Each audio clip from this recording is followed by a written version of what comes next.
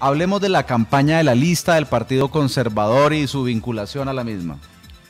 Total, creo que hoy la lista del Partido Conservador es una de las listas más sólidas eh, que, puede que se puede presentar a la Cámara por el Departamento del Tolima. Es una lista de personas, de hombres y mujeres que vienen trabajando y llevan un proceso claro eh, de contacto y de, y de resultados con los ciudadanos y habitantes tanto de la ciudad de Ibagué como el departamento del Tolima.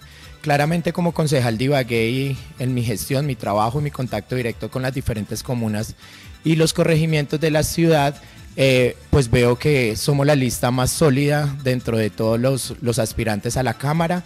Eh, cada uno de los, de los candidatos ha dado no simplemente el trabajo que trae político, sino también en estos procesos se une un tema muy interesante, Juan Pablo, y es tener como coequipero y candidato al Senado a Oscar Barreto. Creo que esa grandeza los vuelve más sólidos, solidifica cada una de las campañas a la Cámara y creo que esos eso lo, hemos visto y ustedes lo están viviendo, ibaguereños y tolimenses. No, lo menciona usted, pero está también el primo del gobernador, Miguel Barreto, que si bien es cierto no hace parte de su grupo político, también debe tener algunos votos de gentes que quieran gente que quiera votar por, por él y por candidatos a la Cámara Azules. Sí, claro, total.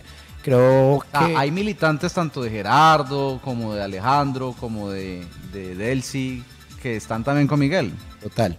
Eh, creo que ahí va un aspirante eh, por, por, el, por el candidato al Senado, Miguel Ángel.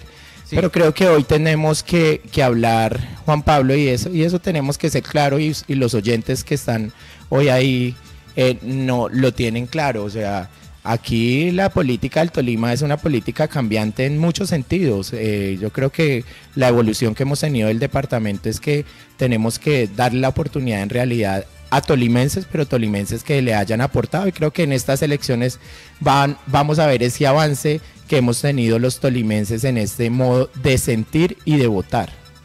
Bueno, ¿usted cree que va a haber dos o tres curules a la Cámara de Representantes teniendo en cuenta que los analistas hemos vaticinado que el Partido Conservador no es difícil hacer ese análisis, va a ser la lista más votada en el Tolima, tal como sucedió hace cuatro años e incluso muchísimo más?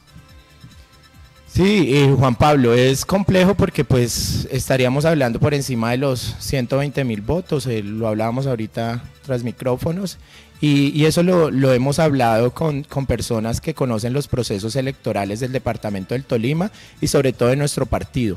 Lo estamos trabajando, Juan Pablo, creo que aparte de ser la lista más sólida, es la lista que más le viene trabajando. Ustedes ven a un candidato al Senado como Oscar Barreto todos los días incansablemente, no llenando plaza pública, sino llevando su propuesta de seguridad para la gente y articulado a eso cada uno de los candidatos que forman esta lista. Es un trabajo continuo, Juan Pablo. Hoy le, habla, le hablo yo como concejal de la ciudad de Ibagué que llevo constante con constante procesos con los habitantes y ese es el trabajo, o sea, aquí no vinimos a hacer un proceso electoral como los que aparecieron, sino hoy venimos a mostrar y a recoger el fruto del trabajo que queremos volver más sólido desde estándares nacionales para volver y, eficaz y eficiente y sobre todo dar ejecuciones en los diferentes proyectos.